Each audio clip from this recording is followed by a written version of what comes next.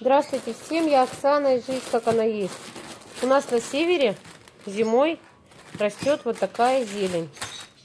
Вот в магазине взяли, помните, я показывала теплицы, не мы выращиваем, теплицы зимние, которые построили японцы. И вот они выращивают зелень. Кроме этой зелени, там есть салаты, укроп. Ну, в магазине не видела этого. Это получается петрушка, принципе, хорошие пучки. Регина, посмотрите цену. По-моему, 36 или 39 рублей. Не вижу без очков. 39. 39 рублей. Такой пучок зелени они выращивают на микро... микропоника, да? Угу. Да. Вот такие пучки хорошие. Воду и растить дальше. Ну, поставь воду. Нет. Например, э, в овощных магазинах, ну, продаются вот такой небольшой пучок. Вот так вот, наверное, да вот так завязаны веревочками. И стоит он 25, 20, по-моему, 25 рублей. Вот такая штучка. Поэтому вот такая по объему. Вот такая за 39 рублей. Очень даже хорошо. И свежая. Только-только, можно сказать. Вот зеленый лук. Правда, он такой какой-то маленький. Ну, такой. Я сначала даже не поняла, что это лук. Ну, пах, пахнет, пахнет это луком. Поэтому это лук. И тоже довольно-таки большой пучок. Поэтому салат с капустой подойдет идеально. Ну, вот я говорю, укропа не было. Че? Нормально? Зелень. Свежая зелень.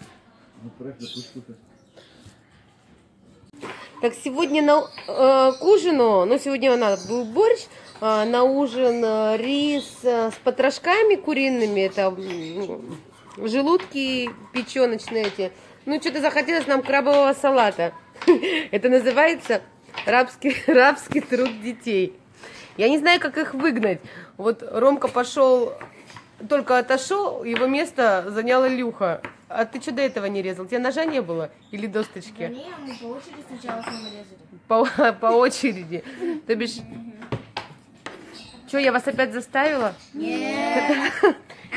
Вот, подожди, сейчас опять скажут, что мы там отрепетировали или еще что-нибудь. Мне приходится их выгонять.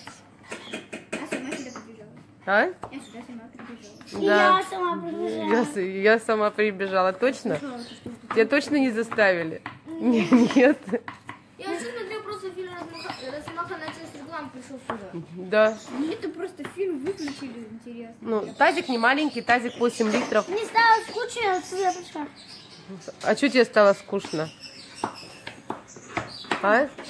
С книжками скучно, мама. С книжками скучно? С луком интересней, да? Ну, вот лук это Даянина любимая. Да, солнце? Она у меня уже в полтора, в полтора года, по-моему, в полтора или два года было. Два года, да?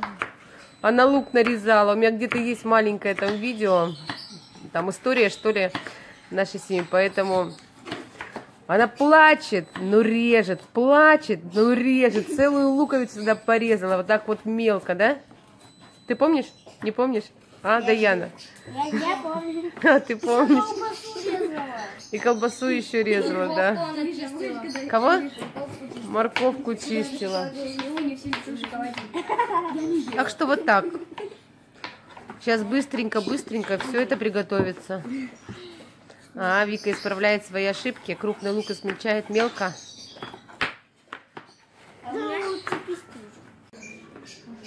Тазик салата готов. Да? Угу. угу. Мама, ты скажи хотя бы авторов. Авторов. Это групповая работа. Вот так.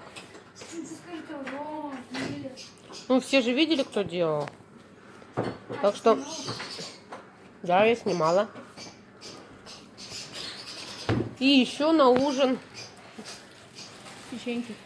Ну, блин, любим. Печеньки, не печеньки. Ай-яй-яй. Сейчас камера запотеет. Потрошки. Очень удобная вот эта штука электрическая, потому что она объемная, такая вместительная, не глубокая. Ну, сантиметров, сколько, 12 она высотой. Да, очень удобная штука.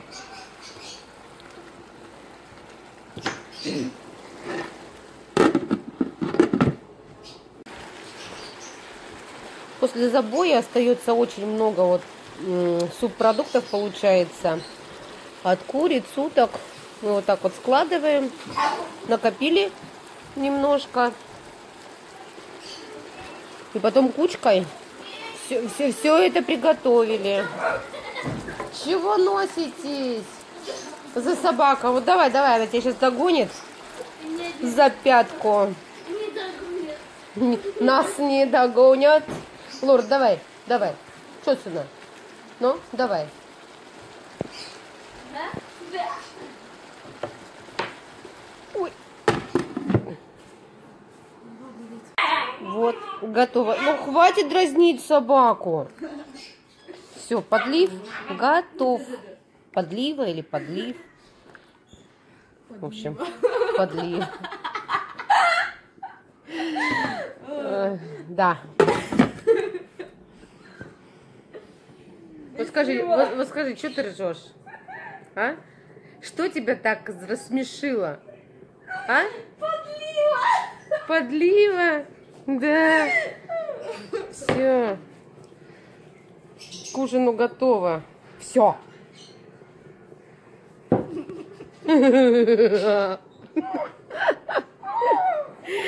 Да, мы с тобой два идиота. Ты да я. Да мы с тобой. И подлива. И подлива.